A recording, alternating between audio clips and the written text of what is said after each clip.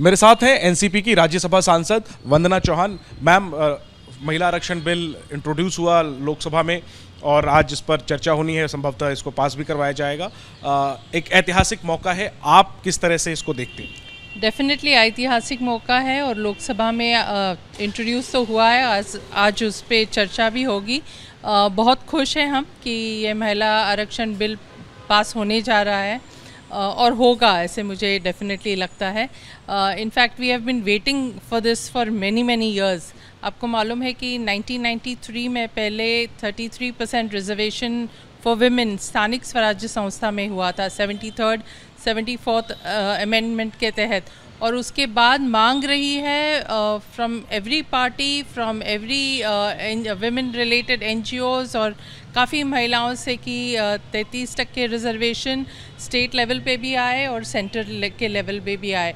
लेकिन it has taken a so many years for it to see the light of the day आपको ये भी मालूम है कि 2008 में एक विधायक आया था 2010 में वो राज्यसभा में पारित भी हुआ और वो फिर लोकसभा में गया, लेकिन लोकसभा उस टाइम डिज़ोल्व होने के बाद naturally it remained in a limbo मुझे लगता है 2014 में जब ये नई सरकार आई विद थम्पिंग मेजॉरिटी उसी टाइम एक्चुअली ये लेना चाहिए था।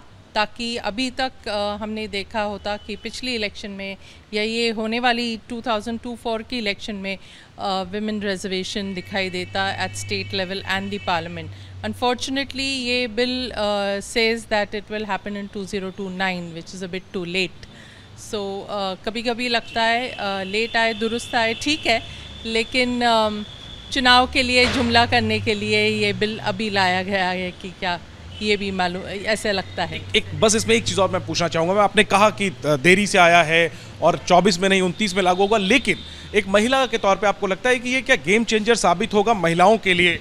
ऑलरेडी गेम चेंजर हुआ है। स्थानिक स्वराज्य संस्था में जो 33 परसेंट रिजर्वेशन चौबीस के चुनाव में आपको क्या लगता है क्या प्राइम मिनिस्टर को या रूलिंग पार्टी को इसका फ़ायदा मिलेगा या आप लोग कैसे इंश्योर करेंगे? देखेंगे। फ़िलहाल तो विमेन 50 परसेंट पॉपुलेशन को आरक्षण मिला इसकी खुशी है। शुक्रिया बात करने के लिए। तो विपक्ष की तमाम पार्टियाँ भी आ, इस बात पर खुशी जता रही हैं कि बिल आया लेकिन दो मोर्चों पर आलोचना भी कर रही किया जा रहा है। आ, पहला तो यही कि इसको काफ़ी देर लगी सरकार को लाने में और दूसरा ये कि इसको लागू जो किया जाएगा उसकी संभावित जो उसका जो संभावित वक्त है वो दो हज़ार उनतीस लोकसभा चुनाव है। कुछ पार्टियाँ ओबीसी कोटे की मांग भी महिला आरक्षण बिल में कर रही हैं।